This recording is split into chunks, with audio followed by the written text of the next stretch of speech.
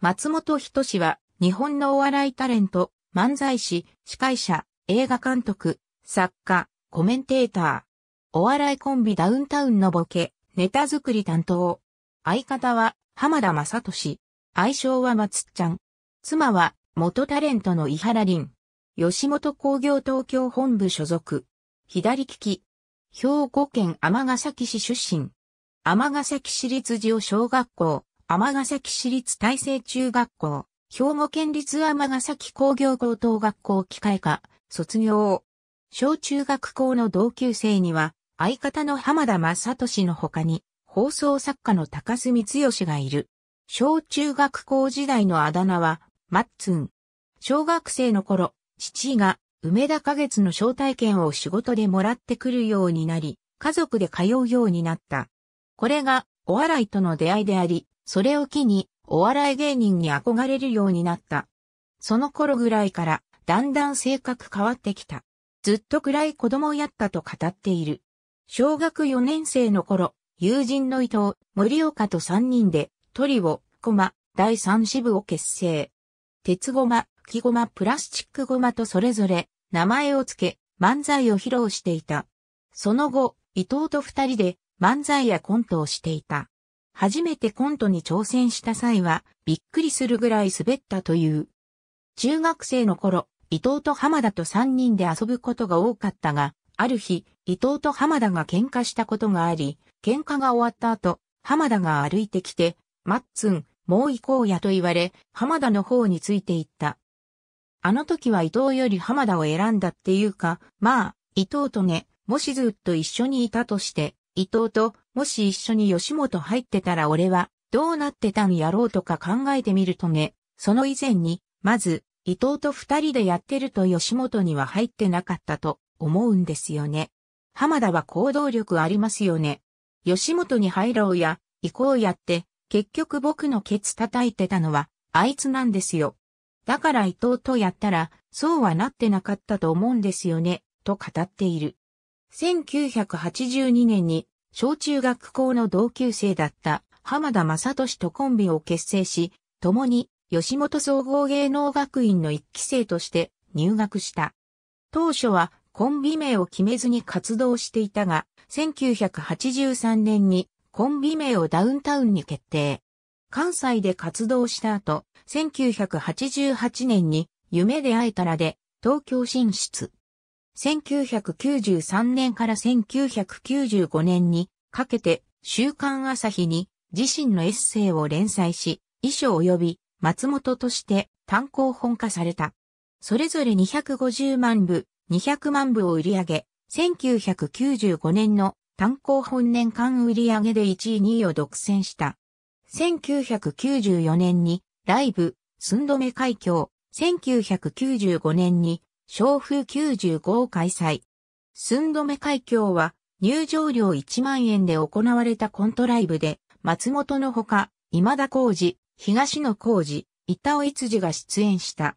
小風95は、日本武道館で行われた客が値段を決める、料金後払い制で写真にコメントを言う、写真で一言のみのライブ。1996年、一人ゴッツが放送開始。新、一人ゴッツ、松ゴッツとタイトルを変えながら、約2年間放送された。1998年12月に、松本人志24時間大喜利を放送した。ダウンタウンのガキの使いやあらへんで、ダウンタウンのゴッツ A、漢字では出演のほか、番組の企画、構成を担当した。その他、一人ごっつ、働く、おっさん人形、モーニングビッグ対談、ひとし松本の滑らない話など、多くの番組で企画としてクレジットされている。1998年、髪型を左分けから坊主頭に変えた。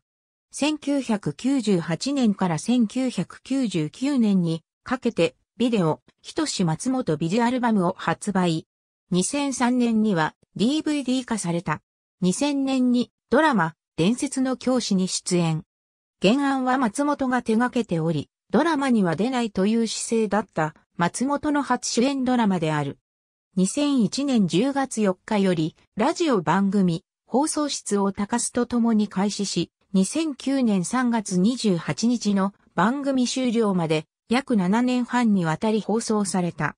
2007年、企画、脚本、監督、出演の4役を務めた映画、大日本人を発表し映画監督としてデビューした。日本での公開に先立って、カンヌ国際映画祭の監督週間に招待された。これに伴い、2008年の東京スポーツ新聞社主催第8回ビートたけしのエンターテインメント賞で話題賞を受賞。2001年に M-1 グランプリ決勝戦の審査員を務める。その後も2004年、2015年以外のすべての回に出演し、審査員出演回数は最多となっている。2002年10月、働くおっさん人形が放送開始。日曜日の早朝に放送され、終了後も同じ枠の後継番組として、モーニングビッグ対談が放送された。2004年から、ひとし松本の滑らない話のホスト及び、企画、2009年からは、大喜利の祭典、一本グランプリの大会チェアマンとして出演し、お笑い芸人の才能の発掘や、若手芸人の育成にあたる役割も担っている。2008年にダウンタウンとしてキングオブコントの司会を担当。2015年からは司会は浜田正俊が担当し、松本は審査員を務めている。2016年から M-1 グランプリの審査員に復帰したことで、松本は M-1 グランプリ、キングオブコントの両方で審査員を務めている。2009年3月28日、ラジオ番組、放送室が終了。理由として自身のプライベートを語る場面を減らしたかったと語っている。楽器の使いやら編でのフリートークも2009年12月6日放送分を最後に一旦終了している。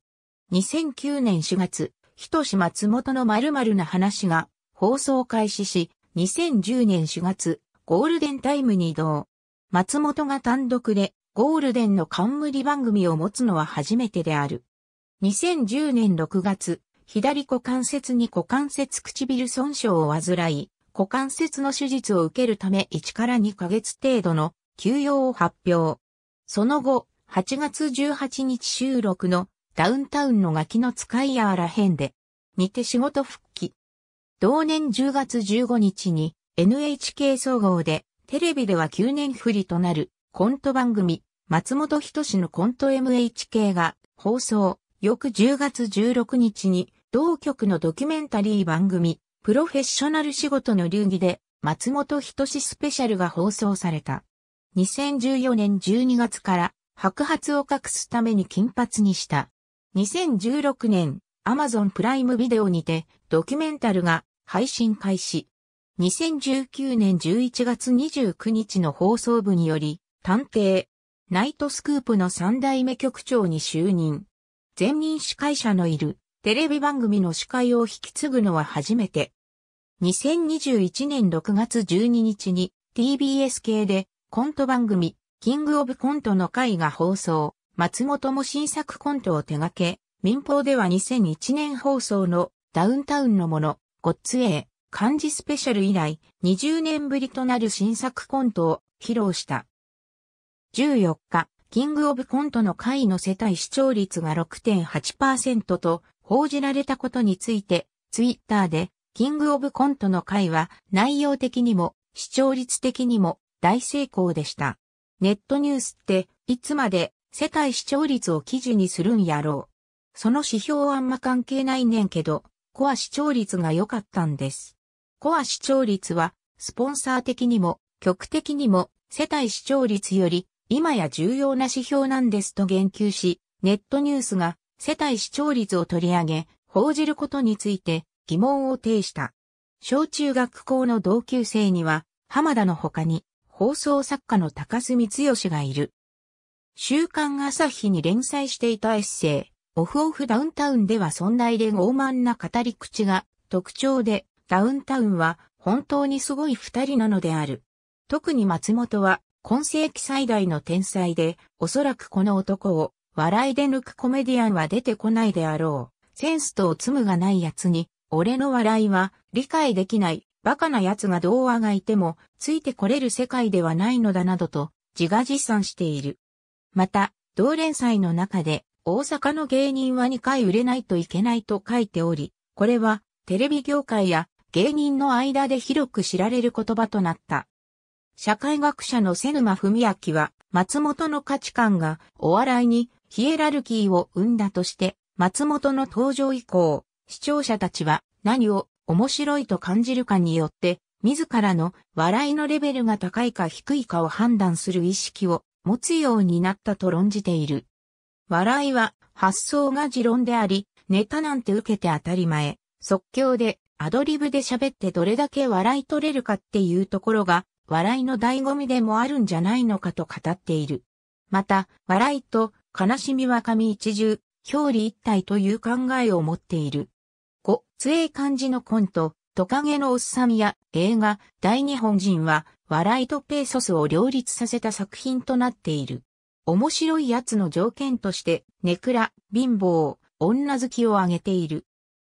ネクラについて、面白いやつというのは、自分一人の世界を持っており、実は、ネクラなやつが多い。面白いやつというのはどこか冷めているやつなのだ。貧乏は松本自身が貧乏な家庭で育ったため、おもちゃを買ってもらった記憶がないことを挙げ、遊び道具のない子供は自分でそれを作ろうとする。結局、想像力が豊かになり、頭を使って遊ぼうとする女好きについては、女好きのやつは口がうまく喋りが達者。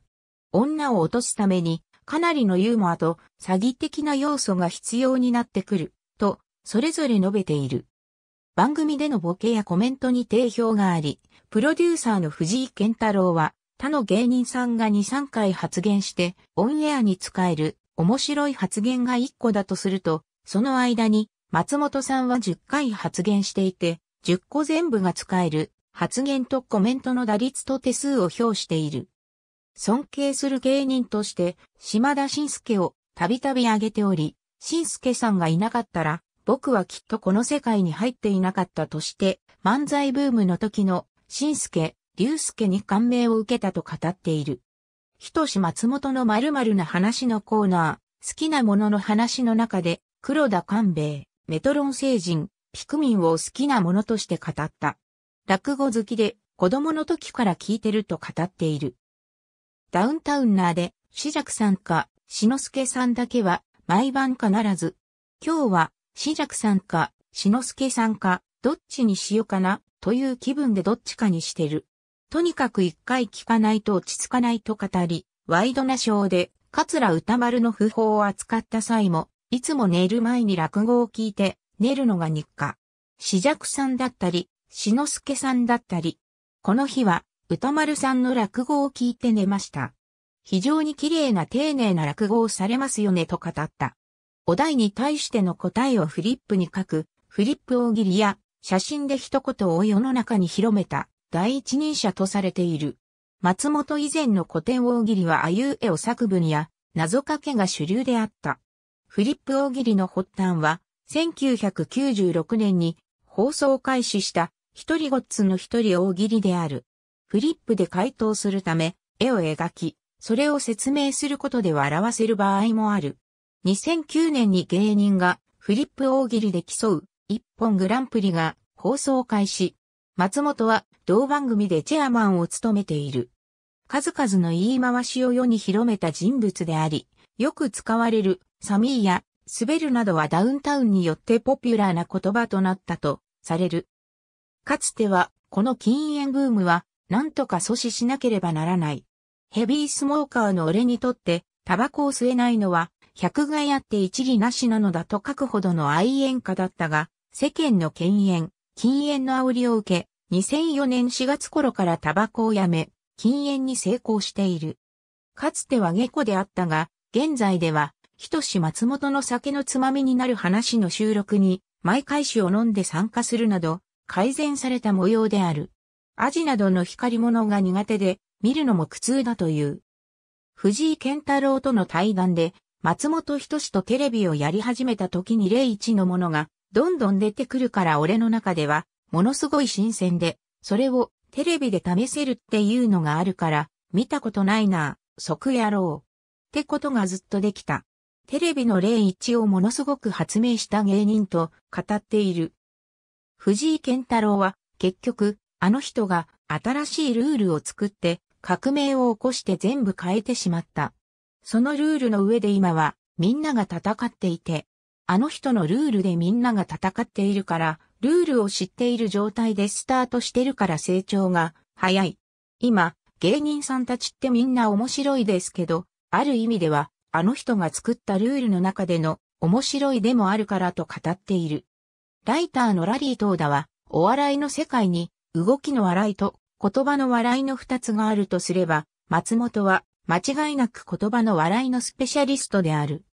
松本の登場によって言葉の笑いこそが高度な笑いであると考えられるようになり、お笑い界全体のレベルが上がったと評している。三人兄弟の末っ子、祖父は著書にもよく名が出てくる。家族構成は父、母、兄、姉。2014年8月31日、8月18日に父が亡くなったことをワイドナショー内で明らかにした。番組では家族の話をすることが多く、特に母とはテレビで共演することも多い。2009年に伊原凛と結婚し、娘がいる。ダウンタウンとしての出演番組、作品はダウンタウンの出演項目を参照。寸止め海峡詳細単著強著監修。ありがとうございます。